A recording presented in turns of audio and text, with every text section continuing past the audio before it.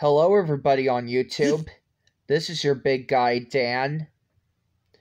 And today, I'm going to explain to you about my opinion on a Nickelodeon show called Sanjay and Craig.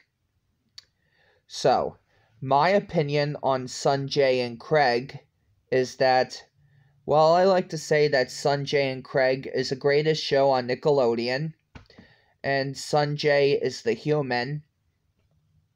And Craig, well, Craig is kind of like a talking snake. He kind of, Craig the snake really walks around like other humans do in the show. And they like to go on cool adventures together. So, yeah, I think Sanjay and Craig is the best Nickelodeon show I have ever watched it when I was a kid. What's your opinion on Sanjay and Craig? Let me know in the comments section below.